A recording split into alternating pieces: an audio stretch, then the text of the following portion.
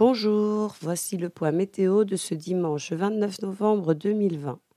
La situation générale à 0 heure UTC reste marquée par la présence au sud du 20e parallèle d'une ceinture anticyclonique morcelée en plusieurs cellules. L'une centrée à 1020 hectopascales vers 35 degrés sud, 52 degrés est, et la seconde à 1030 hectopascales vers 35 degrés sud, 88 degrés est. Col barométrique entre les deux avec front froid axé 29 degrés sud, 55 degrés est, 35 degrés sud, 65 degrés est. A signaler qu'un faible minimum dépressionnaire provenant du secteur australien devrait pénétrer sur le nord-est de la zone en cours de journée.